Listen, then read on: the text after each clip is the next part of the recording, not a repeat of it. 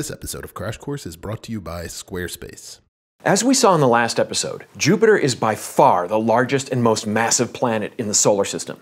That means it has a very strong gravitational field, which also means it can hold on to a lot of moons. A lot! Right now, as we record this episode, there are 67 that have been confirmed. And how many it really has depends on how small an object you're willing to call a moon.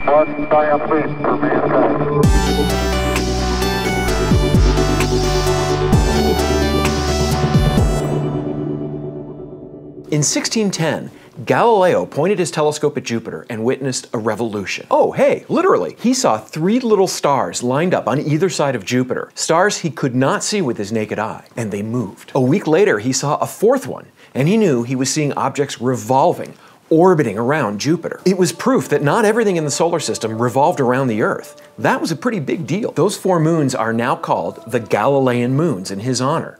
Not bad for a week's work. All four are really big, too. If Jupiter weren't there, drowning them out with its glare, they'd be visible to the naked eye. In that case, we might even call them planets, too. The biggest of Jupiter's moons is Ganymede. At 5,270 kilometers across, it's the biggest moon of any planet. It's even bigger than the planet Mercury.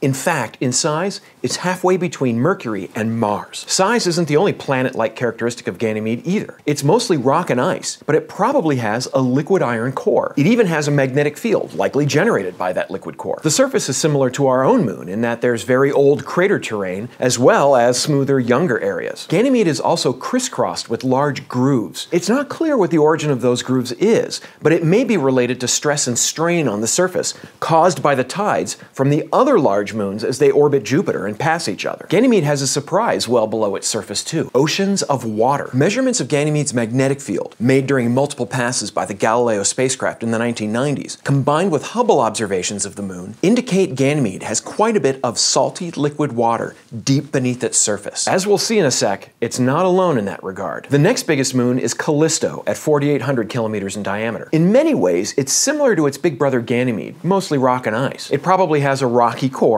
then a layer of mixed rock and ice above that. The surface is mostly ice, but mixed with darker material as well. It has a magnetic field too, but it probably doesn't have a metallic core. The surface is heavily cratered, and there's no indication of any volcanoes or tectonic activity. That means the surface is very old, maybe as old as Callisto itself. It even has an atmosphere, but it's a tad thin, roughly 1 100 billionth the pressure of Earth's air at the surface. Callisto orbits Jupiter farthest out of the four biggies, almost 2 million kilometers away. That's too far to gravitationally interact with the other three. When I talk about the moons affecting each other, it's really the other three interacting. Next up is Io. It's only a little bit bigger than our own moon and orbits Jupiter so tightly it only takes about a day and a half to go around the planet. When the Voyager 1 space probe passed Io in 1979, it revealed a surface that was really weird. It was yellow and orange and red and black and didn't seem to have any obvious impact craters. An engineer, Linda Morabito, noticed that in one image, there appeared to be what looked like another moon behind Io, partially eclipsed by it. But that was no moon. It was a volcano on Io erupting,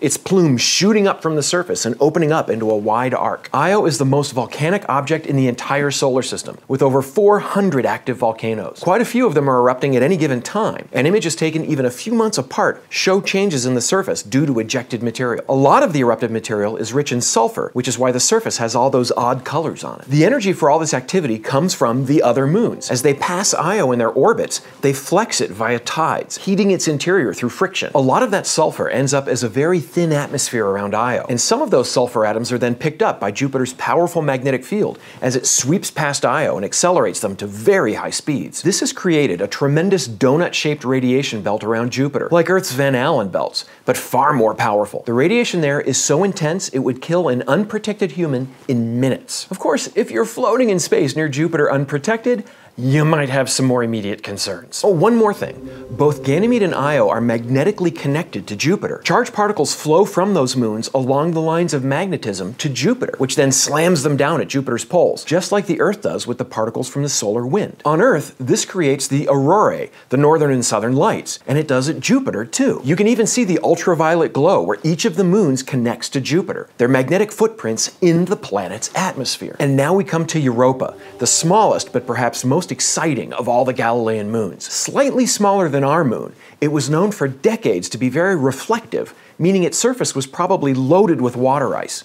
But even so, the Voyager observations were shocking. They showed a surface completely lacking in craters, meaning something had resurfaced the moon, like Io or Venus, but Europa has no volcanoes. Even more intriguing, the surface was covered in long cracks, dark streaks all over the moon, as well as complex ridges. These and other features appear to be due to material from the interior of Europa welling up and forming the new surface, kind of like the way lava does on Earth. But in this case, the material is water.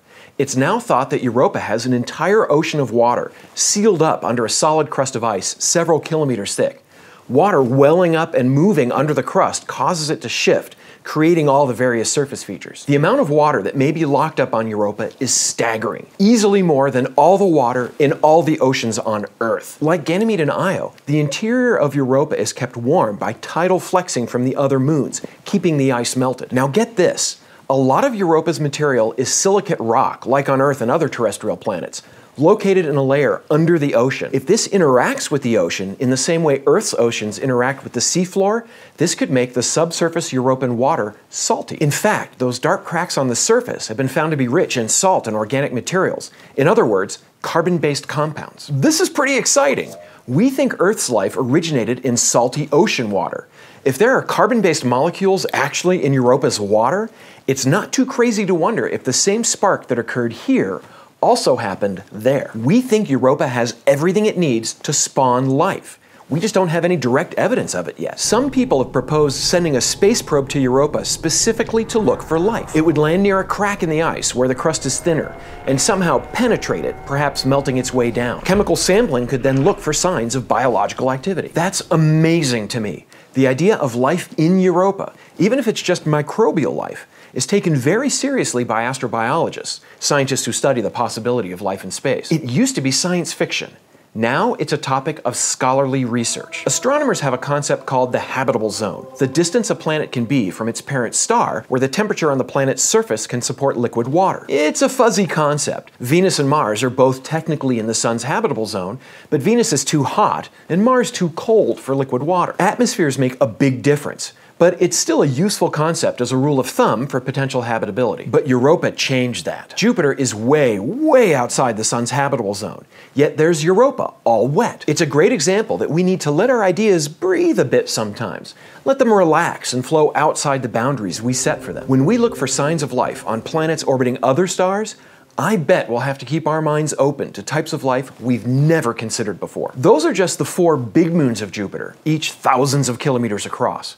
They probably formed along with Jupiter, coalescing from the eddies and whirls around the proto Jupiter as it formed billions of years ago. But the planet has dozens of other moons, too. About the only thing they all have in common is that they're tidally locked to Jupiter. They all rotate once for every time they go around the planet. Jupiter's tides are hundreds of times stronger than Earth's, so no surprise there. The next biggest moon after the Big Four is way smaller. Named Amalthea, it's an irregular lump about 250 kilometers across its longest dimension. It was discovered in 1892 and it's red, probably polluted by sulfur from Io. It orbits just over 100,000 kilometers from Jupiter's cloud tops. If you stood on Amalthea's surface, Jupiter would fill half the sky. The moons get smaller and more irregularly shaped from there, with Himalia and Thebe and Elara and Pasiphae, down to Hegemone and Kale and Callichore, which are no bigger than hills. Many of the irregular distant moons of Jupiter orbit the planet backwards relative to the others in what are called retrograde orbits. They may be captured asteroids from the nearby asteroid belt. Many of the moons have orbital characteristics that are very similar too,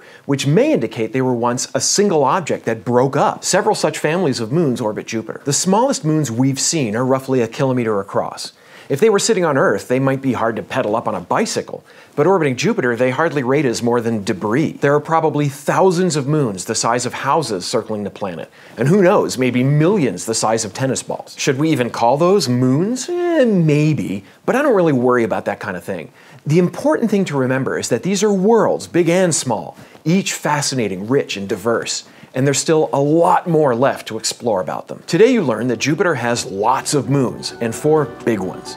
They're mostly rock and ice, though Ganymede, the biggest, may have an iron core. Io is riddled with volcanoes, and Europa has an undersurface ocean that is the object of intense study for scientists looking for life in space. Io, Europa, and Ganymede are close enough to interact gravitationally, providing a source of heat for their interiors. There are lots and lots of littler moons, but at the moment we really don't know much about them. Someday, Crash Course Astronomy is produced in association with PBS Digital Studios, and you can head over to their channel and find even more awesome videos. This episode was written by me, Phil Plait. The script was edited by Blake DePastino, and our consultant is Dr. Michelle Thaller. It was directed by Nicholas Jenkins, edited by Nicole Sweeney, and the graphics team is Thought Cafe.